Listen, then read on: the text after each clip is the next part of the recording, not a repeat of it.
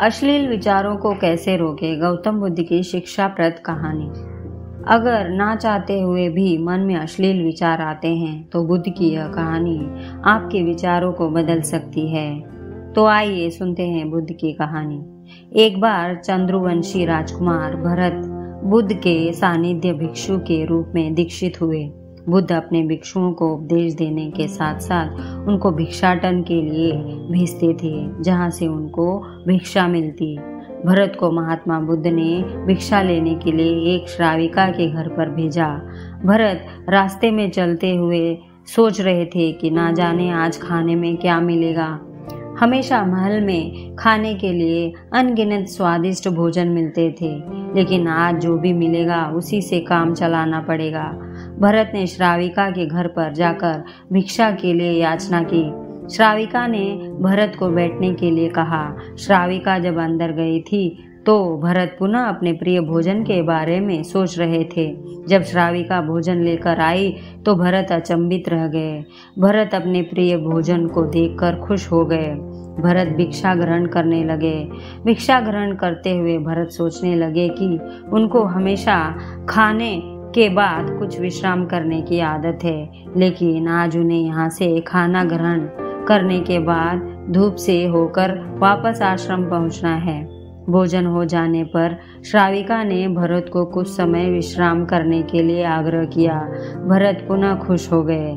सारी इच्छाओं की पूर्ति होते देख भरत इसको एक संयोग मानकर कुछ देर के लिए लेट गए। लेटते हुए भरत सोचने लगे कि आज तो सोने को मिल गया, लेकिन मेरे सर पर हमेशा के लिए छत का साया तो मिट गया है। जब भरत सोकर पुनः उठे तो श्राविका ने कहा कि आपको जब तक यहाँ पर रहना है, आप यहाँ पर रह सकते हैं।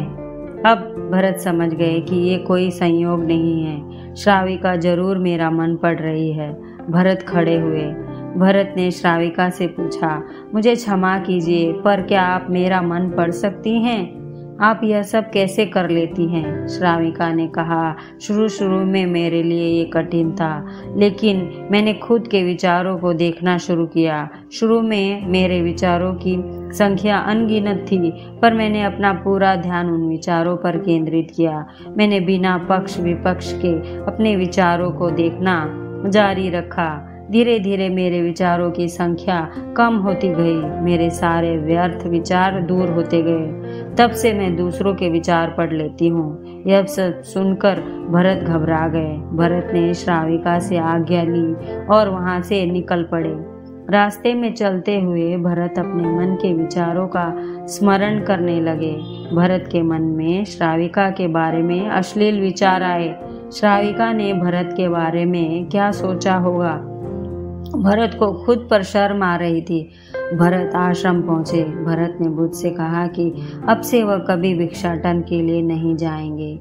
बुद्ध ने भरत को नीचे बिठाया और कहा, क्या हुआ? तुम मुझे अपनी व्यथा विस्तार से बताओ। भरत ने विस्तार से सारी बात बताई। भरत की बातों को सुनकर बुद्ध ने कहा कि, आज से सात दिनों के लिए श्राविका के घर पर भिक्षा के लिए तुम ही जाओगे। लेकिन तुमको कुछ बातों का ध्यान रखना पड़ेगा। कल तुम जाते हुए अपने चित्त को पूरे होश में रखना। तुम्हारे अंदर कौन से विचार उठ रहे हैं, उन पर ध्यान केंद्रित करना। होश पूर्ण और जागृत के साथ ध्यान करना कि कौन सी वासना तुम्हारे भीतर उठ रही है। इन सभी का ध्यान करते हुए जाना और फिर मुझसे विचार विमर्श करना। अगले दिन भरत बुद्ध के बताए अनुसार पूरे मार्ग में अपने होश को जागृत रखते हुए चल रहा था। भिक्षु आज पूरी तरह से जगा हुआ था। जैसे जैसे श्राविका का घर नज़दीक आ रहा था, भरत की घबराहट बढ़ रही थी। भरत ने अपनी घबराहट को एक तरफ़ करके हुए बुद्ध के विचारों पर ध्यान केंद्रित किया।